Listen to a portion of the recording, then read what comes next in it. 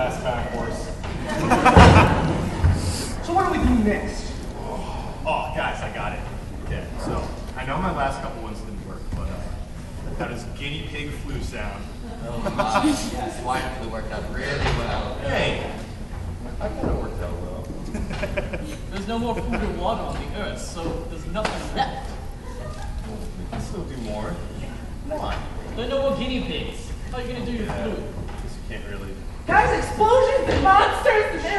Aliens. Be quiet. Quiet.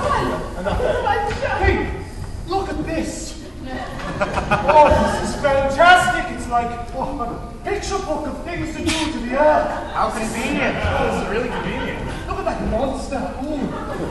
I like the texture. Oh, the skies are beautiful. Giant monster guy. We can do that. Oh, the moon? That's a good idea. Oh, look, yeah, everything's coming up. Oh, get on that. Oh, earthquakes, guys? Yep. Oh, vandalism? See? Yes. Very good. Yeah. How many, how many, nukes do you have? Okay. Oh, meteors too.